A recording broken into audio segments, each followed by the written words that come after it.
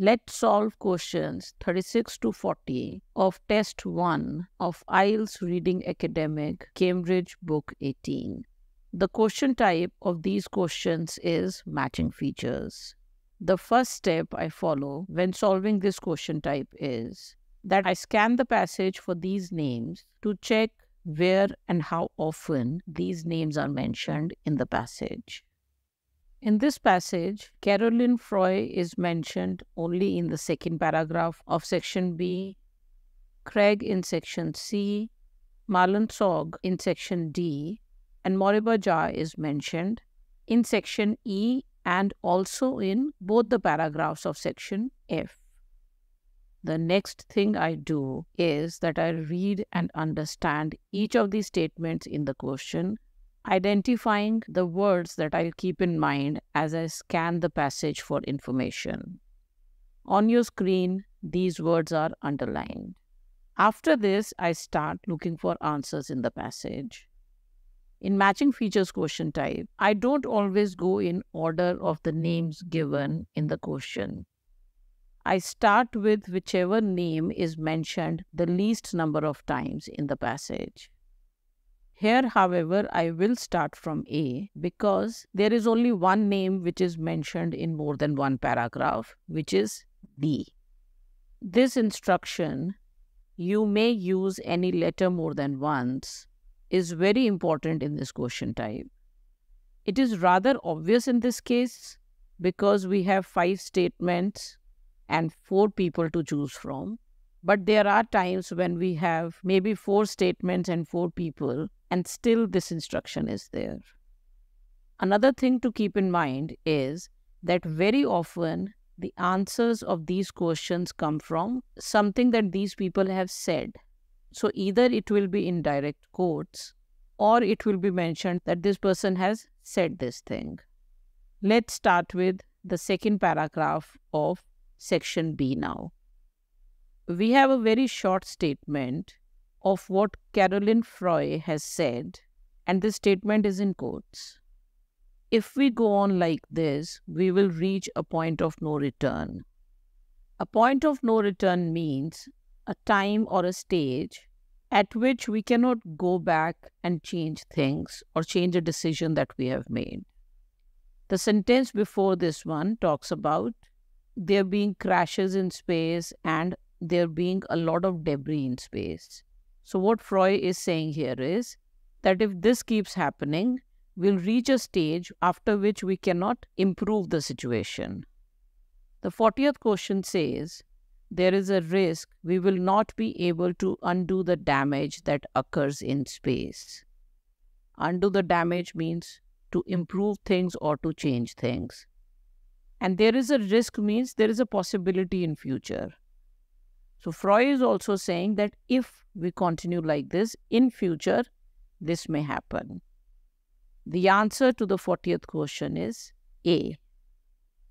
Let's move on to Holger Krag now. He is mentioned only in section C. Let's start with the sentence where he is mentioned for the first time. But so far, only about half of all missions have abided by this 25 year goal. I'll now read the sentence before this one to understand what this 25 year goal is.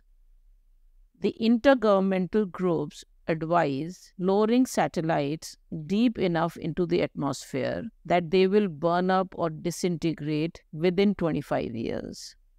We don't necessarily need to understand the exact technical meaning of this. There is some advice about where the satellites should be so that they'll burn up in 25 years. But Krag is saying that only half of the space missions since then have followed this advice. The 38th question says a recommendation regarding satellites is widely ignored. The recommendation is the advice and widely ignored because only half the missions are following it. The answer to the 38th question is B. We continue with the same section, section C, because we can see that Krag has said some other things as well. So we had read till here before. Let's continue with the next sentence. operators say they'll be responsible stewards in their enterprises in space, but Krag worries that problems could increase despite their best intentions. This does not seem to match with any of the statements that we have in the question. One thing to notice here is that it helps to focus on the important parts of the sentence when we are trying to understand the main meaning of it. So instead of reading operators of the planned large constellations of satellites, I just read operators and moved on. We're talking about operators of satellites. We don't need to focus on the whole thing. This helps us understand the meaning quickly. Moving on to the option C, we have Marlon Sorge. Sorge is mentioned only in section D. Let's start with the sentence in direct quotes, which is what he has said. If you knew precisely where everything was, you would almost never have a problem. Where everything was means the location, precisely means exact, and not having a problem means preventing possible danger. The answer to the 36th question is C.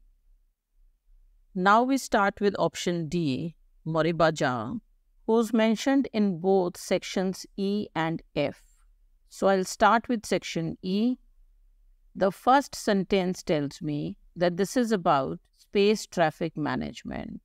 And through the paragraph, managing traffic in space is compared to managing traffic in the air or on roads. On your screen, some parts of this paragraph are in bold. Just looking at these parts give you some idea about what the paragraph is about. And it doesn't seem like any of these statements that were given in the question match with this paragraph. But Moriba Jah is mentioned in section F as well, which has two paragraphs. So let's read section F now. So the first paragraph of section F tells us that the answer to the 39th question is D. However, this information is spread over a lot of sentences in the paragraph. The orbits mentioned here are where the satellites are in space. And Jah talks about a method of figuring out where the satellites are. With this sentence in the passage, he later says that it doesn't always work. Only this doesn't quite work for a number of objects. Because sometimes from this method, one gets two different locations of a satellite whenever we have information spread over a lot of sentences, there are two things we do to understand them quickly. One is we do not focus on examples or additional details. On your screen, all the parts of the sentence which have examples are in red. These parts we do not need to focus on. Secondly, start reading every single sentence of the paragraph wherever you think you understand what the sentence is saying, start skipping information. The parts of the paragraph that I focused on when I was trying to understand the gist of the paragraph are in bold on your screen. The first half of the paragraph corresponds to where some satellites are in space from the question. And the second half of the paragraph corresponds to the conflicting information part of the question because the information sometimes has two different results or is confusing. The answer to the 39th question is D. We are now left with only one paragraph. Here Jah says, I want to make space a place that is safe to operate, that is free and useful for generations to come. Free means available to everyone. Generations to come refers to future. The answer to the 37th question is also D. A quick tip here more often than not, future is mentioned towards the end of the passage. If the question is talking about future, I always start looking in the last paragraph first. With this, we are done with questions 37 to 40. After this, we are left with just questions 27 to 31 of this test. I'll soon upload the answers to these questions as well. That's it for now. Hope this helped you. All the very best.